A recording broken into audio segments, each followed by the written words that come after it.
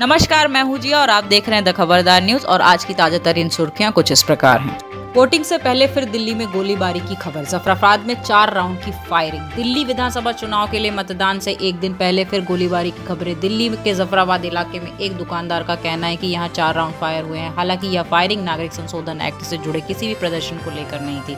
Police की ओर से अभी इस घटना की जानकारी आना बाकी है। कोलकाता में हिरासत में लिए गए बीजेपी महासचिव कैलाश विजयवर्गीय।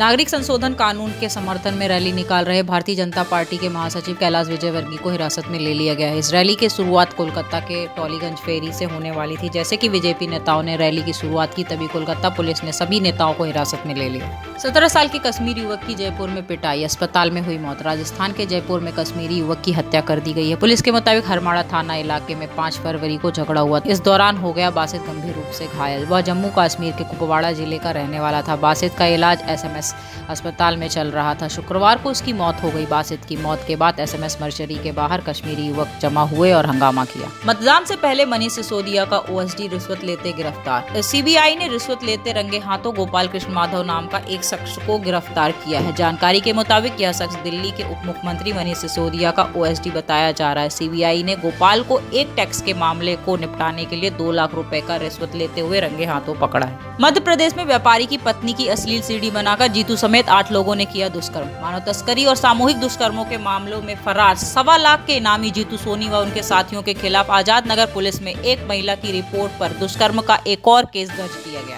इसके साथ ही जीतू पर संतावन केस दर्ज हो चुके हैं। महिला और उसके किराना व्यापारी पति ने डीजीआई रुचिवर्धन मिश्र को बताया कि 2010 में शादी का झांसा देकर जीतू के साथ ही कृष्ण कुमार ने महिला के साथ दुष्कर्म किया और सीडी बना ली। बाद में उसने ये सीडी अपने साथियों को दे दी, फिर उन लोगों ने भी उसे धमकाकर उसके साथ दुष्कर्म किया।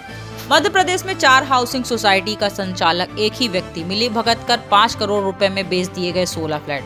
भोपाल में सहकारिता विभाग के अभियान में राजधानी के चार सोसाइटी के फर्जीवाड़े का खुलासा हुआ है। इन सोसाइटी का करता धरता एक ही व्यक्ति है। सहकारिता विभाग को सूचना दिए बिना ही इन सोसाइटियों के कार्यालय का पता बदल दिया गया। जबकि इनकी जाँच हुई तो इस मामले का खुलासा हुआ। गौरतलब है की हाल में ही प्रदेश भर में घपले के मामले सामने आए थे, जबकि फ़ील्ड पर गए बिना ही अधिकारियों ने ऑडिट कर दिए थे। बाद में कलाई खुलने के बाद सभी को सख्ती के साथ भौतिक सत्या सत्यापन करने के निर्देश दिए गए हैं। इसके बाद एक और मामला सामने आया है, जिसमें बैठे बैठे ही पूर्व ऑडिट कर दिया गया था। इधर जाँच अधिकारी सुधाकर पांडे को रिपोर्ट सौंपने के बाद गौरव सोसाइटी के प्रशासक के पद से हटा दिया गया है।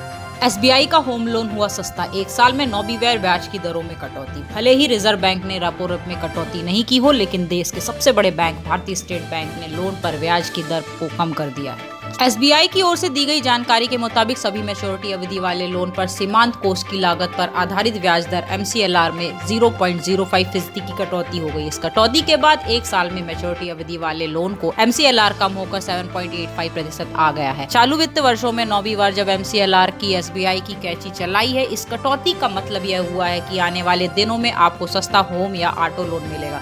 बहरहाल, ये नई दरें दस फरवरी ऐसी प्रभावी है।